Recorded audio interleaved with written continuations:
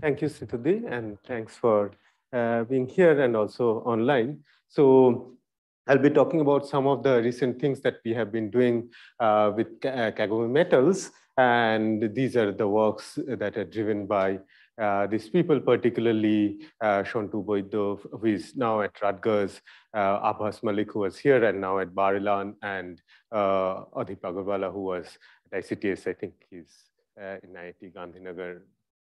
Okay. So, and also uh, uh, mm, uh Saha Dasgupta at uh, SN Bose in Kolkata. And these are the references. We ha have one uh, uh, of them out. We are trying to put together another preprint, which I'll be, I'll be talking about some of the results of this unpublished preprint. preprint.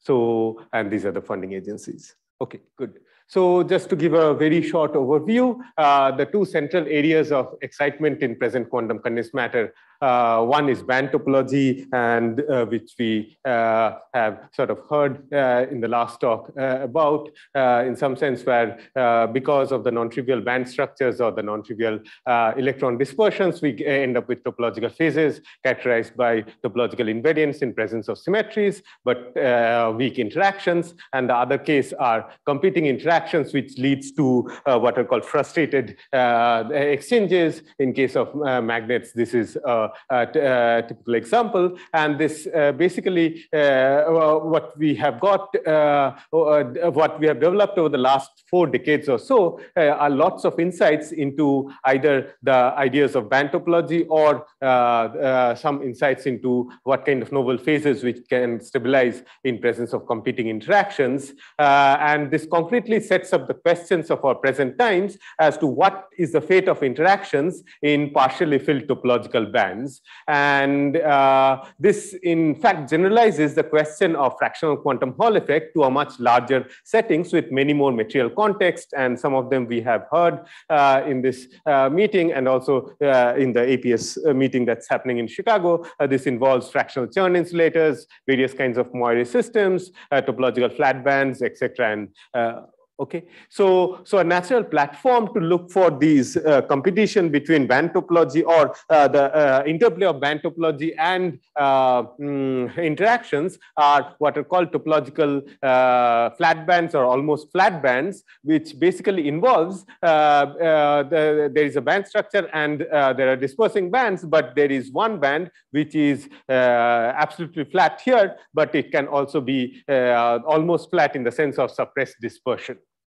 And in fact, uh, such flat bands or almost flat bands occur in two major categories. One are trivial flat bands, which are uh, which basically stems from isolated orbitals, and these are slightly singular um, and harder to deal with, but it can be interesting. Uh, for example, uh, various kinds of interesting phases like the uh, Sachdev-Kitaev uh, physics of non-Fermi liquids or topological orders can emerge out of such uh, uh, trivial flat bands. But there, uh, there are other things called, which are sort of non-trivial flat bands, which like this one, which cannot be isolated. So th there is this point where there is this dispersing band, which touches the flat flat band and this, uh, uh, this touching point cannot be separated without breaking further symmetries. And once you break symmetries, like here you uh, break time reversal symmetry, you get a flat band or almost a flat band, but with non-trivial uh, band topology.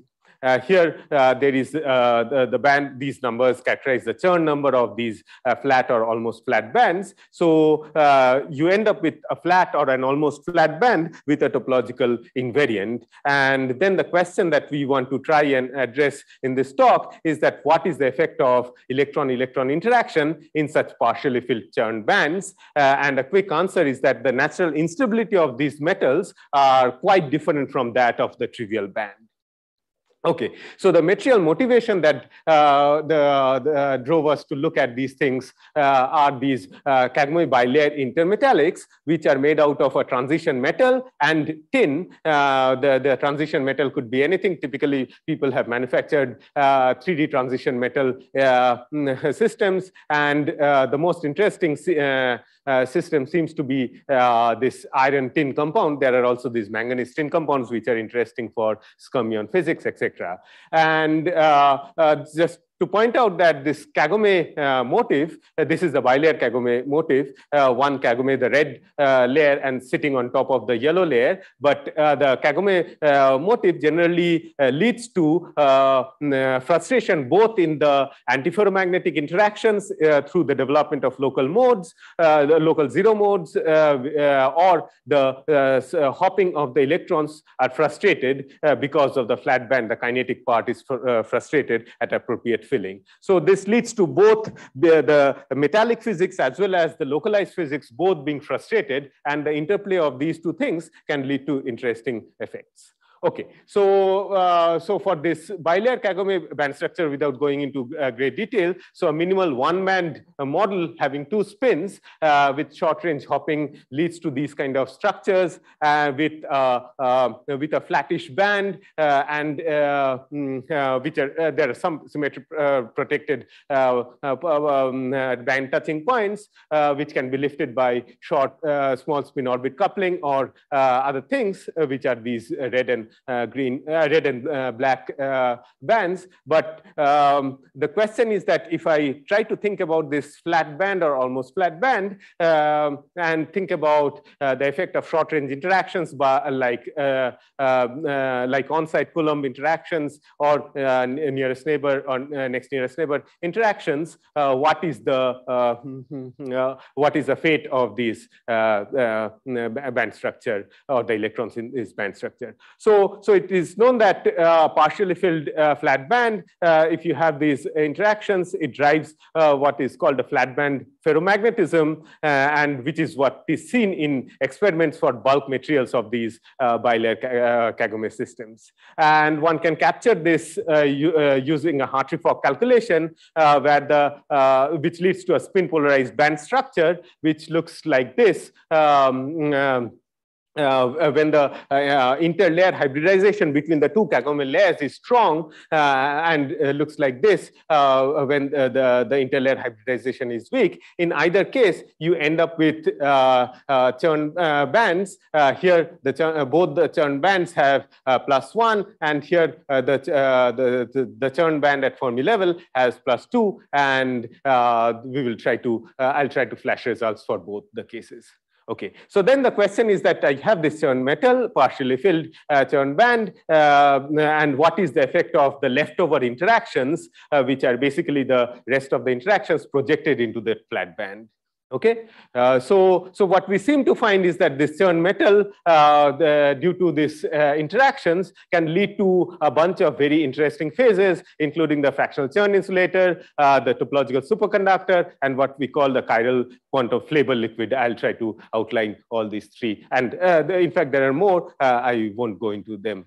Okay, so starting with the fractional Chern insulator, what happens is that if you take this projected four fermion interactions and try to do mm, uh, try to do a, a k-space exact diagonalization of this projected Hamiltonian over a, a spin cluster in uh, k-space, uh, then um, over the fermion cl cluster in k-space, um, then you end up with, the, you can stabilize at appropriate filling the one-fifth Laughlin state in the strong interlayer hybridization limit. these are the five states. The fact that these five states have slight energy separation is because the cluster does not have the same symmetry as the Kagome. Uh, for this is a five cross six cluster. Um, the six cross six cluster, which uh, is uh, sort of at the margin of what we can do, um, does not show this. Um, okay, but we have to look at that data in more detail. Okay, so this is the flux threading and typically of one for one fifth filling, it shows a periodicity of 10 pi, which is 5 into 2 pi. And these are sort of quite encouraging uh, signatures that this one-fifth state is stabilized uh, uh, in this uh, strong inter, uh, uh, interlayer hybridization limit. Similarly, in the weak interlayer hybridization limit, we seem to be able to stabilize a very clean one-third state, and these are similar signatures. and okay, thanks. So uh, the, uh, these are sig uh, similar signatures, and we can discuss in the, this after the talk. So uh, turning to uh, the topological superconductor, one way to uh, try and think about this is uh, to um, uh, think about uh, do a BCS calculation uh, for this uh, in this flat band, and it seems that the mm, the pairing symmetry that's naturally realized in this topological superconductor is a chiral the superconductor. the phase winds out by 2 pi as I go around this plaquette um, and uh, that's uh, and you get Majorana edge modes uh, of this uh, at this topological superconductor uh, edge. Okay, so turning to the uh, chiral uh, Flavor liquid, uh, one way to think about this is once we have interactions, uh, maybe the electron is not uh, the right degree of freedom, but to think uh, it is useful to think in terms of the partons, which in this particular description includes bosonic charge-ons and the um, Flavor fermions. This, so remember there are the two layers. So, and this is a spin polarized band. So this is not a spin index, but a Flavor index which is uh, basically a layer index, and that's the reason for this name. Okay, so then in this uh, language of the partons, uh, the Chern metal is ba uh, basically where the uh, uh, the fermion has a Chern band and the boson is condensed or is in the superfluid state. Whereas in the same uh, for the same system, one can think about a state where the Chern band for the fermions is there, but the boson forms a trivial Mott insulator, and that gives you the chiral quantum Flavor liquid. So interestingly, this, uh, um, this helps us to think about the fractional Chern insulator in terms of the partons, which uh, is sort of curious and uh, useful. Uh, so uh, in terms of these uh, partons, the fractional Chern insulator is actually a, Chern, uh, mm, Chern band for the fermions, but these uh, bosonic charge-ons are, is, uh, are actually in a bosonic integer quantum Hall phase. So it's a Mott insulator, but a non-trivial Mott insulator, such that the effective uh, filling of the Chern band uh, for this F is changed by this emergent gauge field, the, which both F and B carries. Okay, so this actually, uh, and this is my last slide, um, uh, this actually helps us to understand the transition nat uh, naturally between the fractional Chern insulator and this uh, chiral uh, liquid, uh, which is nothing but a, a, a, plateau transition for the bosonic Hall effect. And this um, is a, a, new class of transition uh, that uh, uh, naturally describes direct transition between these two uh, very different phases uh, of uh, matter.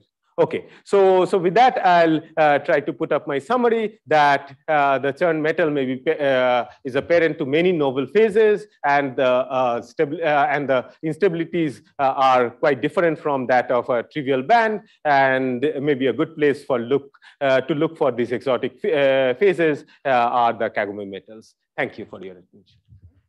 so let's, Vinayak, you have the mic, so why don't you ask the question? Uh, uh, sir, uh, when you showed this uh, projection to the uh, the flat band, so uh, does it have any specific topological index for that projection? So the flat band has a Chern number. So, okay. but the projection. So the fractional Chern number to the zero Chern number we are projecting, right? Yeah. So so this is the uh, uh, easiest case. So we are projecting to the, uh, uh so these uh, energies are measured from the Fermi energy. So we are projecting to the band with Chern number two. Okay, so this is the band at the Fermi level. So generally this, the projection will grows the Hilbert space, right? So if we, if we have, let's say if I take a simple picture like one minus n up and, and down, Mm-hmm. So uh, even in the in the case of Kondo also, like if we go from it's a two operator quadratic two, we go s dot s kind of Hamiltonian. So what's the advantage here? Like we already have a four operator term. No, uh, so the four operator is a local in real space, so it couples all the bands. Okay? okay, but I want to uh, uh, want to understand the effect of this interaction only on the electrons or, or on that Chern band. Okay? okay. So that's why I have to understand what is the matrix element within that band. Okay? The projection uh, really uh, gives us, the projection is one way to obtain that, the matrix elements okay. of interactions for electrons within that band. Okay. Thank you, sir. Sumati, yeah. I just wanted to ask if you, you've also looked for the phase transitions between the fractional Chern insulator and the topological superconductor?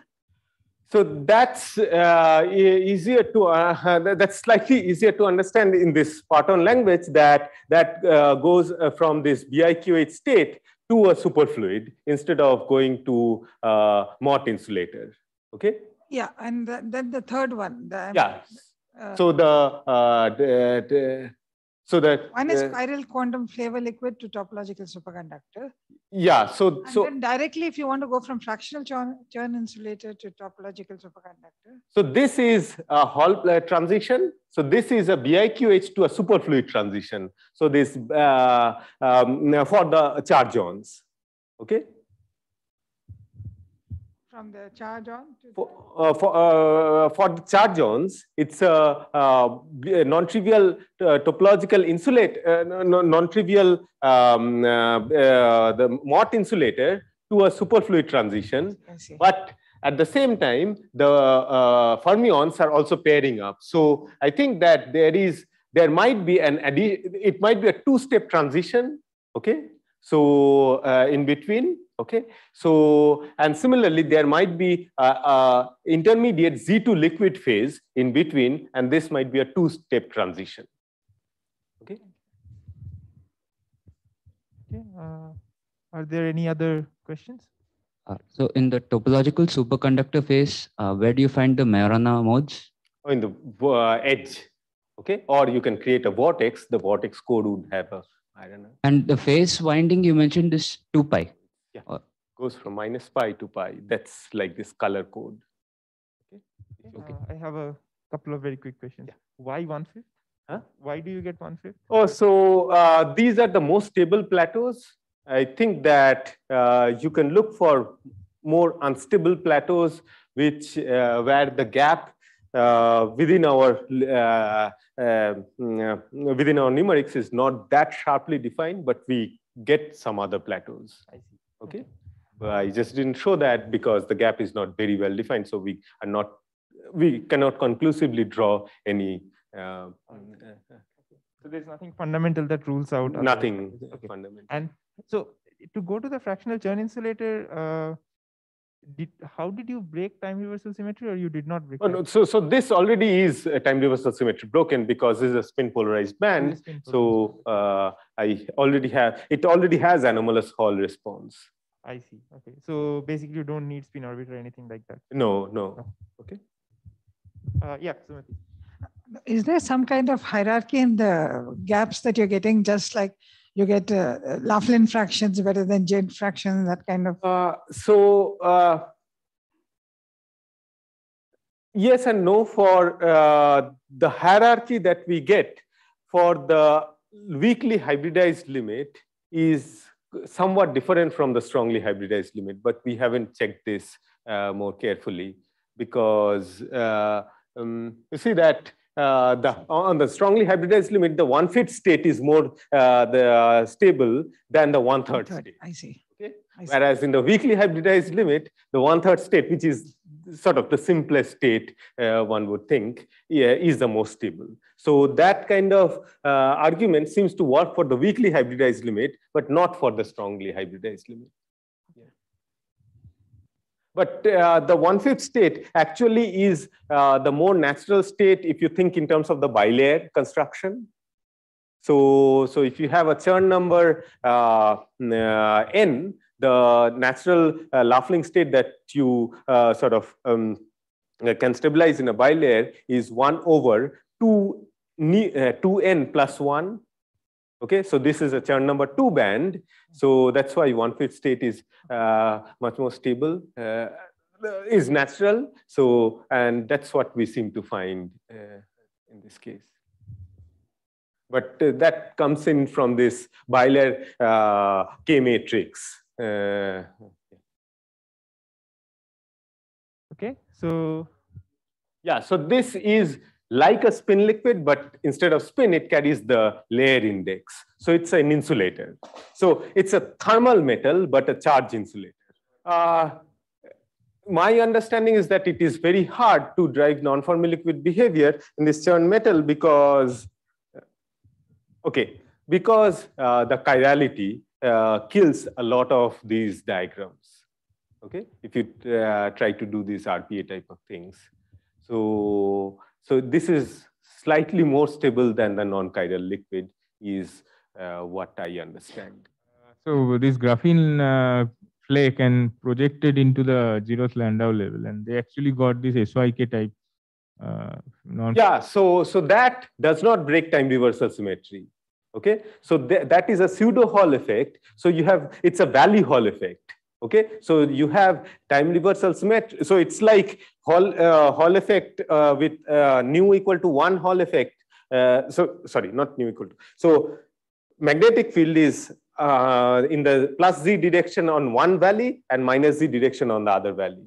So, so if and if you project once you project that, these two valleys start mixing. Okay, that I think is uh, different from this case. Here, because of the Green's function being one plus uh, I, um, uh, I omega plus E, okay, uh, because this plus is uh, sort of preserved, a lot of diagrams just cancel the, all these rainbow diagrams, etc., have a different uh, hierarchy.